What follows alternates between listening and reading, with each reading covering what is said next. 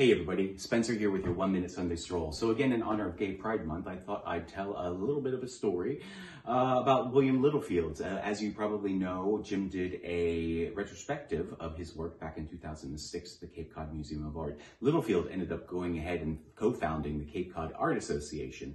This was right before he studied with um, Hans Hofmann and after he studied with Morris Davidson. But as a youth, um, and again, he may have been openly out or maybe he was just known to be gay, but back in, uh, right after school, he went to Paris and he met his boyfriend, Nicholas. So Nicholas was a dancer and his mother was suspicious. She ended up writing a letter to him saying, who is this Nicholas and does he spend all his time with you?